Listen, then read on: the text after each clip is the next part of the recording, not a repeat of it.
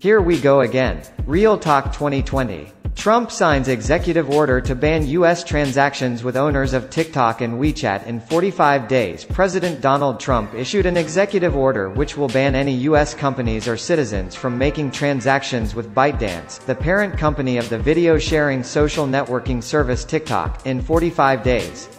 Trump also issued an order taking similar action against the Chinese company that owns WeChat. The move comes after the president told reporters on Monday that TikTok would close down unless sold to a US company. Well guys don't know how you're looking at this. I do know you can start your own business and don't worry about TikTok. Just go to www.bourbonnais.co after that just watch the video and decide for yourself. See you on the other side.